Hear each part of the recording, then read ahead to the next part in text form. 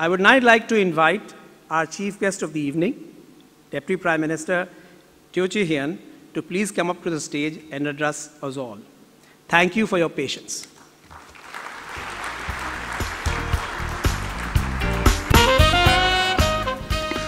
I'm inherently a centrist, so when I'm offered either to be on the left wing or the right wing, I get a little bit confused. Mr. S.R. Nathan, former President of Singapore, His Excellency Dr. Raghavan, High Commissioner of India to Singapore, Mr. Guraj Pandey, Chairman of the Organizing Committee of Impact 2013, Mr. Sanjeev Iyer, President of the PAN IIM Alumni, IIM, IIM Alumni distinguished guests, welcome to Singapore. To our guests from overseas, a very warm welcome here to Singapore. It's my pleasure to be here with you on this special evening. I'm told that this is the first IIM alumni event that brings together alumni from both India based and overseas IIM alumni chapters. We're happy that Singapore has been chosen to host this inaugural event building on the strong ties between India and Singapore and the long standing connection of many IIM alumni with Singapore. The theme of this global IIM meet, New Frontiers, is a timely one given the opportunities and challenges shaping the global economy, and it ties in very well with the history of the IIMs itself. Seeking new frontiers is something, therefore, that IIM is familiar with. The IIM is globally recognized for its role in developing business leaders for the corporate world, and I hope that Singapore's position at the crossroads of global and Asian influences helps set the stage for a lively exchange of ideas. With globalization and the internet, the world has become more interconnected and interdependent. Trade flows and investments in the region and around the world have significantly increased, as has the flow of ideas and knowledge across borders. Countries like China or India, which used to be giants in population terms, but pygmies in world trade and investment terms, have grown to become giants themselves now and have a great influence on what happens in the world economy. We have seen an unprecedented increase in companies expanding their overseas presence. Challenges in the G3 economies are driving many companies to look outwards, especially towards Asia for growth. At the same time, many Asian companies are also keen to internationalize and extend their global reach. For instance, emerging markets account for 55% of Unilever's revenue today, while the Tata Group and Aditya Birla Group earn close to 60% of their revenues from outside India in 2012. This era of globalization has brought about a change in the type of executives and leaders required to operate and helm businesses. Having a core set of business skills and knowledge is no longer sufficient. In fact, as we were discussing just before coming in to the hall for dinner, what is this core set of business skills?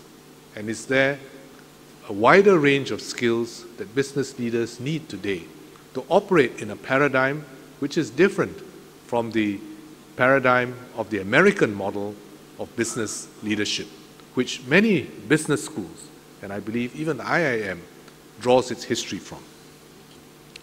Instead, global companies today require people with a global orientation, individuals who appreciate and can successfully navigate the varied business cultures and ways of doing business in different regions. To be successful in this new world, it is thus important that business leaders are equipped with the necessary skills to manage and integrate a diverse workforce, work well with customers, suppliers, or partners, while respecting their different cultures as well as harness the strength of cross-border collaborations. Indeed, companies are increasingly paying more attention to the need to attract retain, and develop a robust pool of professional and leadership talent. According to a Deloitte report, American companies increased their leadership development spending by 14% in 2012 to an estimated US 13.6 billion. In the Asia Pacific, a 2012 survey done by Mercer on 30 companies found that close to one third spent more than US $5,000 per person annually to train and develop their senior leaders. Business schools have noticed a growing need for this new breed of global executives and are transforming themselves to meet these demands. Business schools themselves are also globalizing. The French business school ESSEC, for example, offers an Asian track, the Global Manager in Asia, as part of its Masters of Science in Management program. Business schools are also forging partnerships to enable cross-border exchange of insights and knowledge. The joint EMBA program offered by America's Kellogg School of Management and the Hong Kong University of Science and Technology brings together business knowledge and influences from the East and the West. We are happy that IIM Bangalore has recently inked a management research and education partnership with the Singapore Management University. Other business schools, such as France's INSEAD and ESSEC, as well as India's SP Jain School of Management, have gone a step further to set up overseas campuses. These campuses play an important role in a number of different ways. They help these schools internalize the concept of globalization even in the school's own operations, in the orientation of its staff, in its program offerings, and in the diversity of its student body. This makes the schools themselves more attractive to students and makes their graduates more marketable as they have had a fuller international experience at the school. As companies seek out new markets, especially those which may be quite different from their own home base, they will increasingly need to build a better understanding of local cultures and norms and build healthy mutual respect. To succeed in the globalized world, multinational companies not only need to hire local technical specialists and country managers, but must also groom local manpower to take up higher corporate positions, including leadership positions. For example, at General Electric's Leadership Development Campus in New York, 40 to 50 percent of participants are non-American employees from multiple geographies and businesses, no doubt including quite a number of alumni from IIM. Singapore's multicultural and multiracial society provides a useful environment to help companies understand local conditions in different countries. In 2010, Procter & Gamble established its Asia Leadership Development Center in Singapore to train 500 managers across Asia annually. Sony has also set up its first leadership campus outside of Japan in Singapore, dedicated to developing leaders for Sony's businesses in, the, in Asia, the Middle East, and Africa. Unilever also established its Global Leadership Development Center in Singapore to develop its pipeline of corporate leaders for developed markets as well as for Asia and other fast growing markets by using Singapore as a base.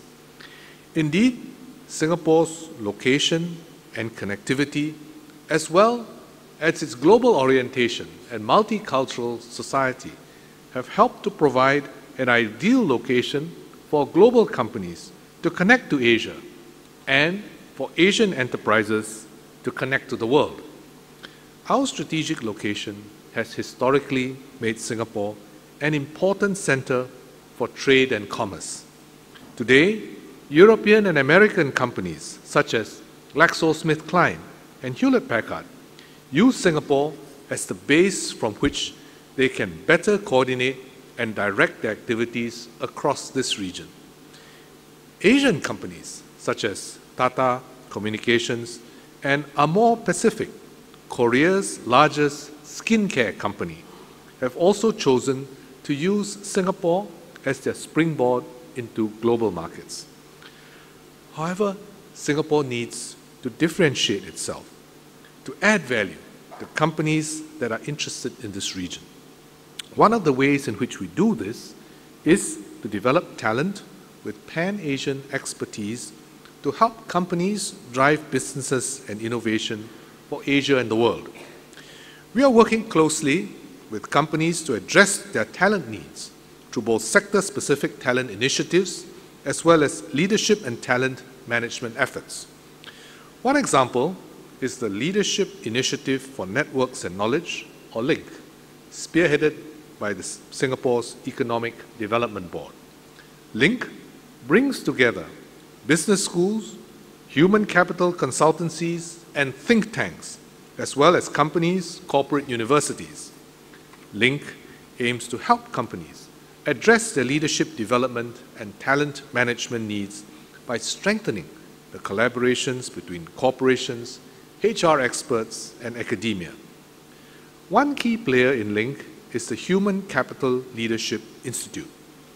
This institute helps companies develop global leaders with a strong understanding of Asia, as well as Asian leaders with the ability to lead on the global stage.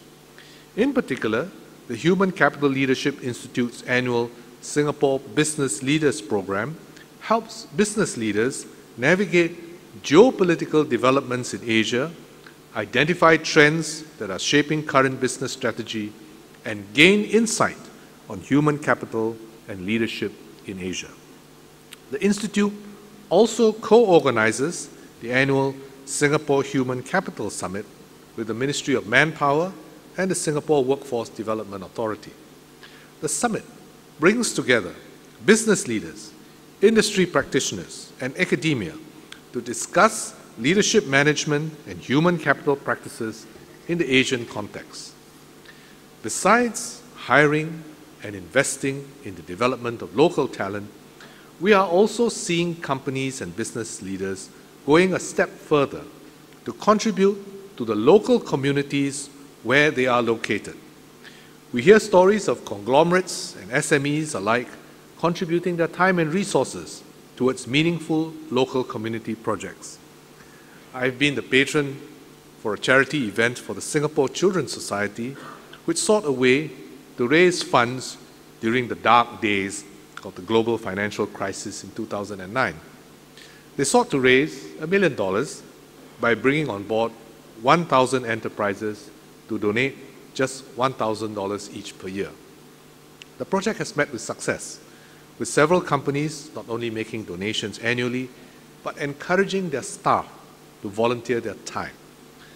There is thus space and scope within each company, big or small, to build stronger links with the community through corporate social responsibility. And I'm heartened to know that some of the Singapore based IIM alumni have taken the lead to create an Indian Business Leaders Roundtable within the Singapore Indian Development Association, or SINDA. Besides organizing dialogue sessions to facilitate engagement between the business sector and the government, IBR members also contribute their time and effort to SINDA activities and help to raise funds for SINDA. I'd like to commend their initiative and welcome more of such efforts by business leaders to contribute to the community. As companies look to expand beyond their shores, business leaders will need to be tuned to the business practices of different markets around the world and work well with people from different cultures. I hope this two-day global IIM alumni event will help to promote networking and dialogue among business leaders like yourselves as you explore new frontiers. I wish all of you a fruitful and productive conference and thank all of you for your presence here in Singapore. Thank you very much. DPM, one of the questions that came up, and I think you alluded to it, is do you see overseas Indians who have settled down here integrating well into the Singaporean ethos? And what specific messages would you have for the alumni gathered here in this regard? Well, we welcome uh, Indians who've come here to work in Singapore, some of whom have taken up uh, residency and citizenship. Singapore has always been an open society, and it's an open society in which we welcome people, but it always requires two hands to clap. So um, it requires uh, an ability to fit in with the local cultures, multiculturally, multiculturally, multilingually, and to get to know people and to live and work together with them.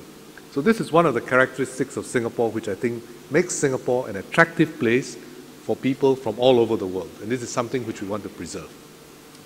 Uh, continuing on the theme, I think um, uh, there is a question about what measures, if any, Singapore is taking to ensure it remains an attractive destination for businesses setting up a headquarters here in the future. Well, we hope that the region itself will provide a magnet and an attraction because where Singapore is located, we are conveniently located between these two huge giant economies which are really powering the world today India and China. Each with its own model of development, but each with huge potential. And we are also located in the middle of Southeast Asia, the ASEAN region, with five, six hundred million people. And also just north of Australia, which has huge resources and potential as well to contribute to the world economy. And we believe that this very central location, this very central geography, is in itself a great advantage. But of course, geography alone is not enough. And it's important to create the right conditions for companies to want to come here, for businesses to want to locate here. So we believe that the combination of connectivity through good air and sea links, through good telecommunication links, but also an openness to ideas and to business to come here, to set up easily, and to be able to grow from here into the region. And we intend to continue to remain open for business in this way. Thank you. Uh, this one is a very interesting one, DPM. And for those of you who are sending in questions, this wonderful technology, Pigeonhole, comes from a local startup, uh, and they've really done a great job for us today. This one's very interesting. We've got eight votes. It says, why do we not see more investments from Singapore into India? I'm not 100% certain that, that it's uh, accurate, but it's perhaps a question that you'd like to address. Why do we not see more investment? Is that a question for Dr. Raghavan, you think? yes. well, it's a question of whether you see the bottle as half full or half empty. I think Singapore has been one of the most active investors um, in India. And ultimately, we see Singapore's role not as a bulk investor, but as a catalytic and quality investor.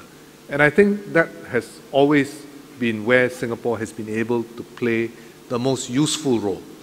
Because if we were to compete in bulk terms, that means the more terms, just in quantitative terms, then there will always be countries which will be able to do more than Singapore in bulk terms.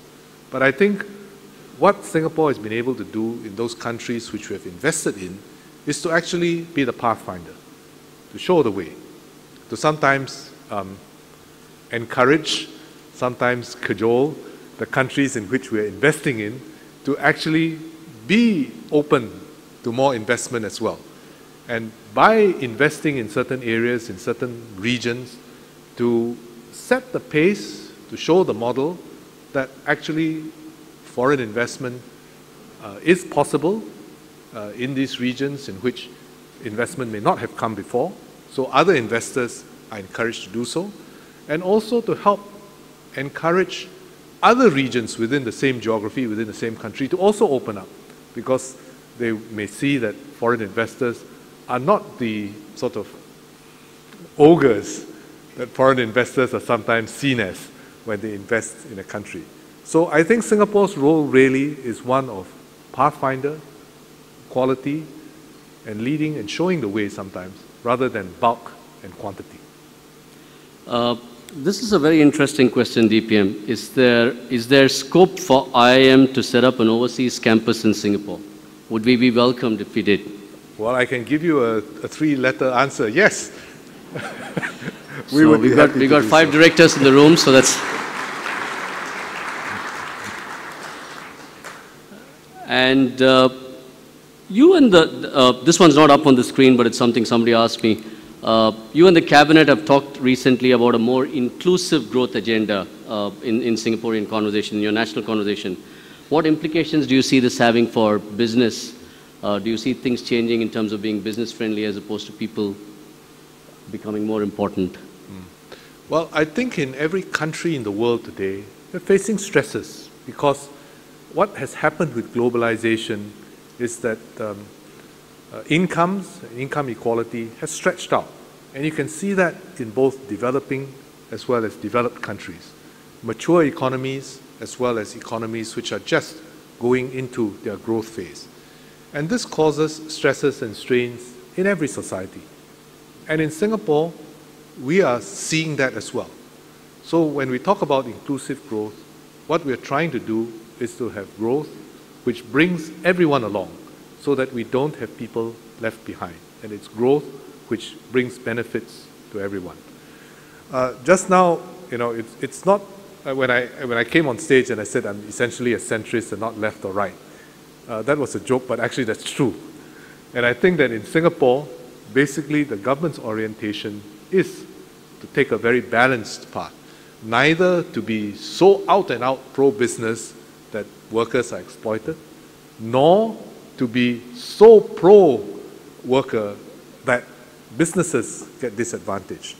And this is what this is the balance that we've always been trying to strike and which we will continue to strike for the future.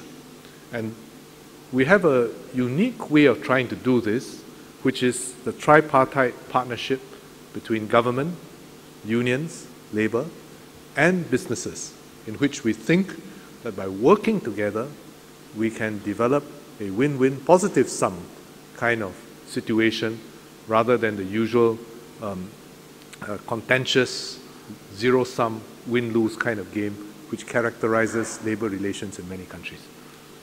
Uh, DPM, the questions are coming uh, fast and uh, quickly, and we promise not to keep you for more than two or three more minutes. But in the same vein, I think uh, a lot of people here are business people, and I think this is an interesting question which has got six votes. Singapore is already a high-cost location for most of the industries. What are the steps that you're planning to take to curtail this decline? I mean, to curtail this cost, I guess, not decline. I think one must not look just at cost, but at value. And I think as a businessman, I think um, that's really what you're looking at too. That means not what it costs you, but what is the value that you can get out of person you employ, a location that you are in, a new business that you are open, a new line of business you're opening. So I think one must not look only at costs, but one must look at value as well. And when one looks at costs, one must also look at the totality of the costs that are involved in doing business in a particular location. And in some locations, I suspect that there are more hidden costs than there are uh, typical than, than typically doing business in Singapore. In Singapore, generally, what you see is what you get or what you pay. And we hope that with this kind of transparency, ease of doing business, that even though the sticker price may look higher, but the total price and the value that you get out of doing business in Singapore is well worth it. Thank you. DPM, um, I am going to ask you to take two more because the questions are very interesting and uh, I think particularly for India to be a leading business hub, given that it's not a city-state, would the Singaporean model of efficiency work? In other words, if Singapore were as big as India, what changes would we need to make? If Singapore because this is a constant thing that comes up about Singapore being a city and India being a large country. Each country has its unique challenges. Um, I had the good fortune of uh, um, sort of sitting in the shadows of Mr. Lee Kuan Yew when he's visited India a number of times over a number of years as, um, as, uh, as India uh, went through uh, its sort of liberalization and opening up phase. And I would not dare to make the kinds of pronouncements that only Mr. Lee can. but, but I would say that in some ways, let me put it this way India is fortunate to be the size and the diversity that India is, and Singapore is fortunate to be the size and diversity that Singapore is. and I think we should. Uh, that was What, what we should each try to do is to maximize the advantages that we have.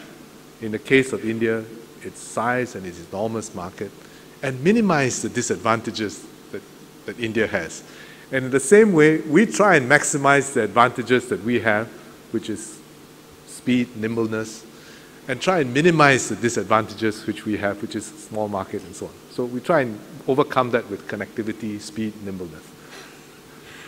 Uh, I, there's another follow-on to that. What is the secret sauce behind the excellent governance practices that make Singapore such an attractive destination? The secret Secret sauce. Sauce. Sauce. You know, what, what, what's so special about Singapore that you have created?